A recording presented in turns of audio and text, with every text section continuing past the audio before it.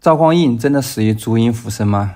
赵匡胤、赵光义这俩名字太绕，这里也没有他们大哥赵匡济的事，就不讨论。暂且把赵匡胤、赵光义叫做赵大和赵二吧。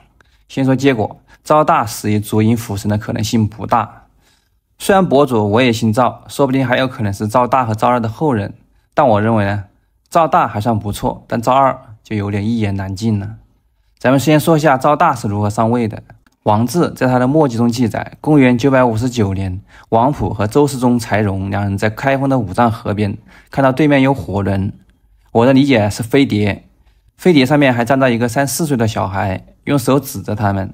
王普急忙拉着柴荣下拜，然后呢，飞碟就飞走了。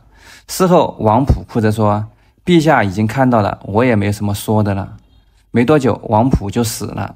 同年的六月十九号，柴荣也死了，甚至有人怀疑他们是看到了飞碟，感染了放射性的物质才死的。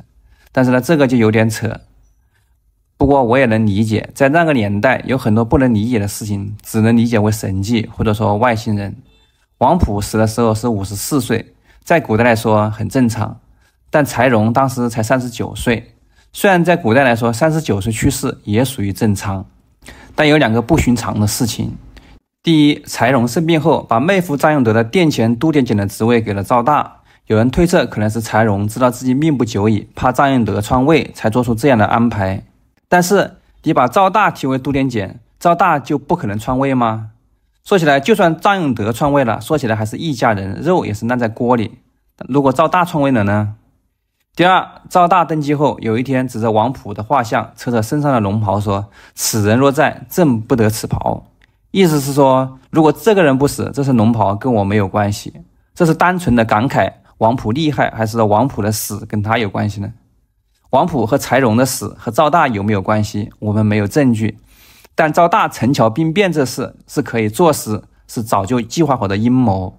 公元九百六十年的大年初一，大家都在欢度春节，突然有边关的探子来报说，契丹人打过来了。猪队友宰相范质、王普马上就点了十万大军。让赵大带着去御敌，咱就说十万个人出门旅游，也不是说走就能走的，好歹也把吃的喝的准备一下，这不是一时半会都能搞定的。但赵大正月初二就领军出征了，只走了四十里，到了陈桥驿就停下了，上演了黄袍加身的戏码。正月初三回到开封城，正常来说篡位了就成了敌人，那开封城如果四门紧闭，坚壁清野，守城也能守好几个月。但是呢，守城也是赵大早就安排好的人。石守信，王守齐等根本就不用打，直接就进了城。只有韩通一个外马，不知道什么情况，舍身报国，然后被杀。正月初四，小皇帝就宣布上位给赵大。不过赵大也算够意思，没有杀柴氏的后人。公元九百六十一年，杜太后病重，与赵大立下了金匮之盟，说如果赵大出了意外，儿子太小，掌不了权，主少国疑，防止陈桥兵变的旧事重演，要传位给弟弟赵二，赵二再传位给四弟赵廷美。然后再传回给赵大的儿子。当时杜太后说这个话的时候，赵大的儿子还小，但赵大死的时候，他儿子已经二十五岁了。赵大有没有动过改立儿子的心思呢？我们不知道。公元九百七十六年十月二十号的晚上，天空下起了鹅毛大雪。赵大请赵二进宫，屏退了左右，和赵二两个人在房里喝酒吹牛。有人看到房间上窗户的影子，赵大拿着斧头在砍赵二，赵二不停的在躲闪。还听到斧头戳在地上的声音，并大声的说：“好好做。”这就是所谓的烛影斧身。事后不久，赵大就上床睡觉了。有人还听见他鼾声如雷。有传言赵二跟赵大晚上是一起睡的，但按宋朝皇宫里的规矩来说，这个不太可能。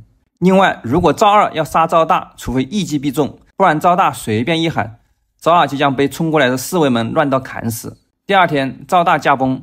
赵二是从外面进宫的，只是比太子抢先一步进入皇宫，吓得皇后一愣。还好老子转得快，连呼吾母子之命皆托于官家。皇后和皇子都没意见，那自然赵二就合理上位。事后赵大的两个儿子之死跟赵二有没有关系呢？我觉得有。赵德昭可以说是被赵二吓死的。